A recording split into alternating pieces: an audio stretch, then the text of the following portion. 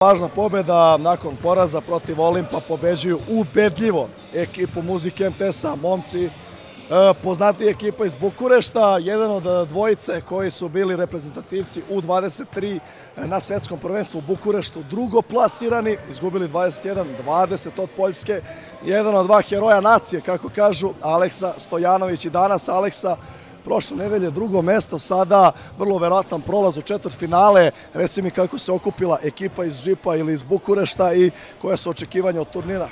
Pa upravo tako kao što si rekao, ekipa iz Žipa je u pitanju, ovo isto tako je bilo vrlo spontano, na neki dogovor, ono, bukvalno, evo ćemo da igramo, ajde, mogli bi se prijavimo. To je ta ekipa iz Bukurešta, Njegoš Milović koji nam je bio tamo, ono, trener, da kažeš, i drugar, Nikola Kovačević koji je na kraju zbog povrede morao da odsustuje s ovog turnira i eto ja i do, doveli, smo, doveli smo još, eto, da bi popunili roster još, još, još, još jednog, do duše morali smo se nalazimo sa još jednim igračem, tako da ovaj, nismo baš nešto uigrani,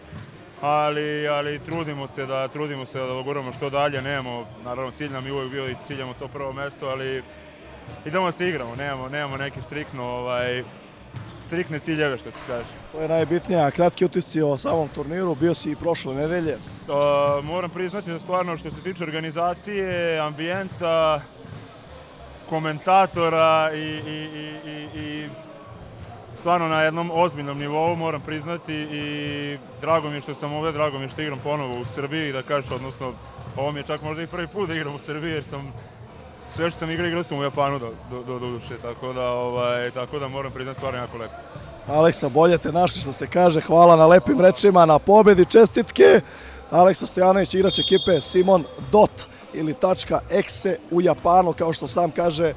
napravio tektonski poremećaj kad je došao prošle nedelje, drugo mesto sa Grbavicom, sada verovatno četvrt finale minimum sa ekipom iz Bukurešta, nama sledi prvi put Sombor Joker na terenu protiv ekipe Aviator Ločike.